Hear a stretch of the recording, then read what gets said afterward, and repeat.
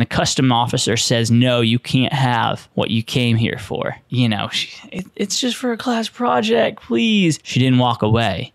She persevered. What's up, everybody? It's Jack Flynn, and this is the Pure World Podcast. Let's get it started. What's up, everybody? It's Jack, and this is the Pure World Podcast. I'm so glad you're here. This is actually the first podcast we are ever releasing, so it's pretty exciting. Our podcasts are going to have some guests today. I'm just going at it solo. I'd like to tell you guys some stories about the secrets and behind the scenes challenges that I've personally faced while trying to build this brand. To start off, a little bit of context Pure World was started at Babson College as a class project. At Babson in Wellesley, Massachusetts, every single freshman is tasked with starting a business as this class project. They're in a team of 14 other people, and the school basically funds their business idea. The first semester, you come up with the idea. The second semester, you use those funds and you actually run the business. My team had come up with this idea during our first semester. Basically, it, you know, the company was called Stixer, and it was this wall pocket silicon, which is not sustainable but this silicon um, pocket that you could stick anywhere besides your bed. You could put your phone in it. Uh, in your bathroom, you could put your toothbrush in it. Basically, it was multifaceted. But the problem with that was we learned that we were unable to source it. We were going to try to get it from India. I mean, there were about six Indian students on our team, and none of them could really figure out how to source this product. The second semester was already starting, and every other business had started running their businesses, and we were at square one again. We couldn't go through with the business that we had planned all semester, and so we had a late night brainstorming session, probably until like 2 a.m. And one of our classmates, Anna, who is from Nepal, said that she felt like she could confidently import the hemp backpacks that were made in her hometown in Kathmandu. And that was our biggest challenge at the time was actually getting products into the United States so we could sell them and, and like do this class project. And when she showed me the bag, I, I saw so much potential in it. Obviously, because I've continued it for so long. We were so far behind, and there was this thing at Babson called the Expo where all of the businesses come and they like it's a launch party and people buy a lot of products from each other and stuff like that. We were just coming up with our idea and there was about 2 weeks until this expo. Anna helps coordinate the whole task of getting the bags into Boston so we could sell them at this expo. It's the night before the expo, and she has to go herself. She has to take a bus to go to New York City to go to JFK Airport to receive a couple boxes of about 100 bags. And at the time, they were just 100 random styles of bags. We didn't design them or anything. And she got to JFK and went to receive the bags, and the, uh, the customs lady told her that she needed a customs form for the importation. Anna had no idea about this. I remember her messaging our team, and we had no idea either.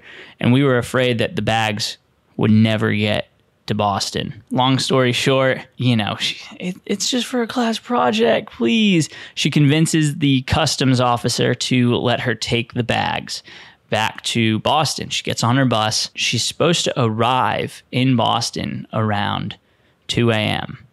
You know, she has been traveling all day to get these bags, and it's my job to go pick her up.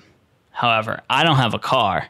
So Priya, another student, lets me borrow her car and I'm off. I'm, I'm going to go and pick up Anna. As I leave campus in Priya's car, I'm like already afraid that, you know, it's not my car. I don't want to crash it or anything. I'm, I'm driving this car and my phone dies and I don't have a charger. I'm pretty young at the time. I'm like, I gotta, I don't even, I barely know where I'm going. I, but Anna's waiting for me. She's relying on me. I'm her ride home and she's just waiting at this bus stop in the middle of the night in Boston. I mean, I guess I just followed signs. I got to where I needed to be and she was there, sure enough, waiting on the side of the road with two big boxes of bags. That night we brought him back to Babson started putting our tags on them, and really celebrated this accomplishment of rapidly coming up with a business idea and actually having the operations to bring in products.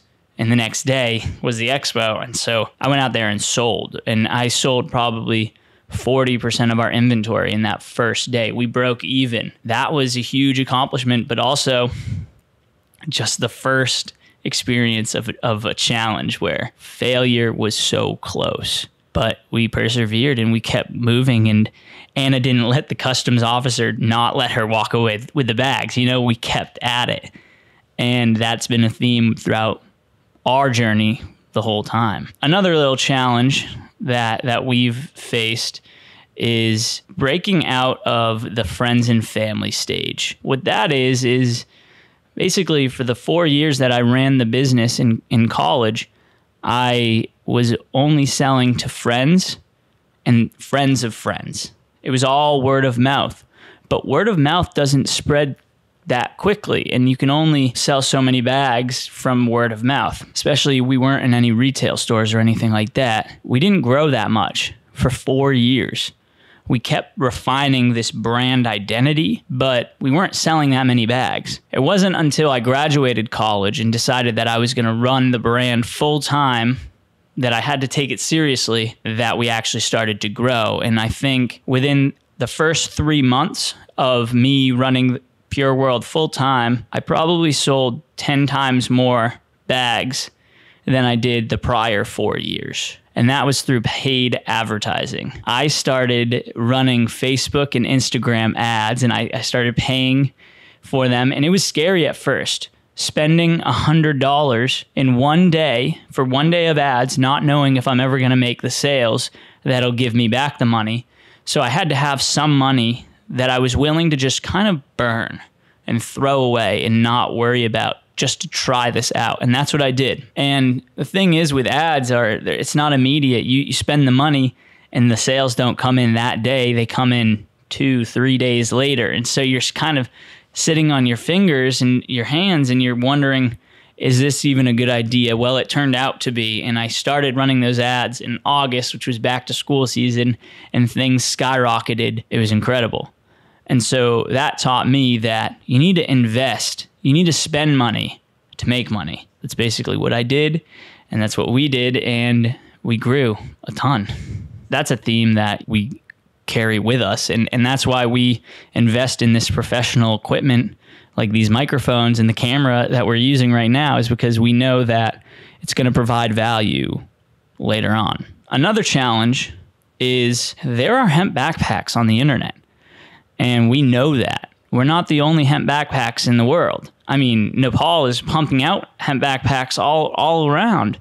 So, how does Pure World become different? How do we differentiate ourselves? And this was when we started to really design our own bags. We decided to design an entire collection of about 20 products. It was really difficult, but we learned that, you know, we'll design five new bags and one of them will become a bestseller and we'll carry it with us for months and months and almost even years. And so that's what we've been learning is you're not going to find those perfect bags without trying and designing. And now we're even doing cool things like community designing contests with our battle of the bags. That's what what I learned about differentiating ourselves is we can differentiate ourselves in the style and in the quality of the bags. And so we also changed manufacturers to one of the most professional grade manufacturers in all of Nepal. Now we sell the highest quality hemp backpacks on the market. I mean, the bags that we were selling back in college, which was a different manufacturer, far less professional, they were ripping, they were breaking. And then we decided, you know, that's a problem. We need to change that because every other hemp backpack company may be okay with their customers' bags breaking, but that's unacceptable for us. Those are ways that we thought about differentiating ourselves. And, and that's always a challenge with a business because there are competitors in almost everything. You got to figure out what those angles are on how you can differentiate yourself. Another challenge is that that we've gone through is building a team. There have been many many months over the last 4 or 5 years where I was the only person working on Pure World. but one person can't do it all and so i knew that we had to, to to build a team at the same time i knew that it's difficult to finance a team when everybody is expecting american minimum wages and salaries people who work at mcdonald's make $20 in some places an hour. And it's just at our scale, we can't afford that. And yet there are really talented people all over the world. And so to solve that problem, we started looking elsewhere outside of the United States. People have skills all over the world. We started to work with people who are in the Philippines because they are great with technology and online services and video editing, creative social media management and they speak really great English. And so we were able to build this team, which added another flavor to our brand. You know, we had this Nepali flavor from our manufacturing, but now we have a team of people in the Philippines, and that adds another flavor. And we've got our fulfillment in Virginia, and that's a, that's a completely different flavor than where I am, you know, growing up in Boston and Robbie in Boston. And so we're creating this global team that brings culture at the forefront. I mean, that's really important because having team members from different places who have different backgrounds is how you you mesh great ideas and great perspectives together. Basically, we we found these awesome these awesome people out in the Philippines and we started delegating work to them and then eventually they became full-time members and you know, they're part of the team. Another challenge that we faced was I mean, that's happened every year actually. The holiday demand. Every year it's so surprising how much our customers turn out for us to support us and um, I mean they want bags and, and Christmas time and the holidays is when they go and buy them or they ask for them from their family as gifts. Every year we sell so many and unexpectedly sell out and then we have to get a new order in and then it's always this deadline for december 24th christmas eve. We got to get the bags there so that they can be given as gifts for christmas. And it's hard because it's a rigid deadline and we don't want to turn anybody away and say no we can't sell this item as a christmas gift because it's not going to arrive in time. Instead we try to bend over backwards to make sure everything arrives in time. I remember planning it out so perfectly last year that the bags would the you know the the pre-order bags would come in from Nepal at a perfect time when we would have a, enough time for the USPS to ship them and deliver them by Christmas based on their usual shipping times. But then the USPS took way too long to deliver that year. And they were super delayed because everybody's shipping things. I remember a couple people missed their deliveries in time for Christmas. And I just remember feeling so bad about that and never wanting that to happen again. I mean, that's a lesson that we're kind of still trying to learn. And it happens during back to school season, this past back to school season. People needed their bags for the, the school year. People start school at all different times across the country. I don't know if you noticed this, but there could be almost as much as a month difference between people in Florida and people up in Massachusetts. They start school very differently. And so it's hard for us to anticipate that and make sure that we can get everybody what they need for their fixed deadlines. And so that's something that, as a retailer business, I mean, every e commerce business, I'm sure, has issues like that and challenges that is that's a difficult one okay another really really recent challenge we had was with our